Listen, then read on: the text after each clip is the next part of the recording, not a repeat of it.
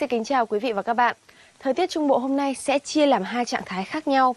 Với khu vực Bắc miền Trung, sau buổi sáng có sương mù, một số nơi có mưa như tại Quảng Bình và Quảng Trị, thì đến trưa chiều trời mới hửng nắng và nhiệt độ cao nhất tại các thành phố từ Thanh Hóa trở vào cho đến Huế vào khoảng 25 cho tới 32 độ.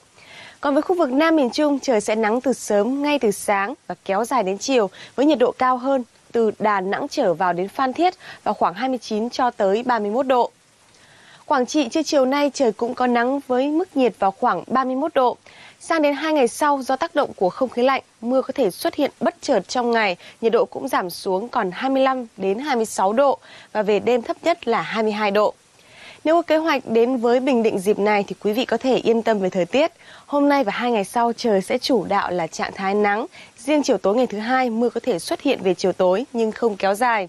Nhiệt độ cao nhất vào khoảng 29 đến 30 độ. Tối và đêm không khí dễ chịu, tiết trời tạnh giáo, nhiệt độ thấp nhất ở mức 23 độ. Đến đây quý vị đừng bỏ lỡ dịp ghé thăm những điểm đến nổi tiếng như là Gành Ráng, Cù Lao Xanh hay Hòn Khô với biển xanh cát trắng tuyệt đẹp ở nơi đây. Còn với khu vực Tây Nguyên đang trong những ngày nắng nhiều và khá nóng, đặc trưng của mùa khô, tại thành phố Pleiku và Buôn Ma Thuột, nhiệt độ cao 33 đến 34 độ. Còn với Con Tum và Gia Nghĩa chạm mức nắng nóng 35 độ. Riêng thành phố Đà Lạt thấp hơn hẳn chỉ vào khoảng 28 độ mà thôi.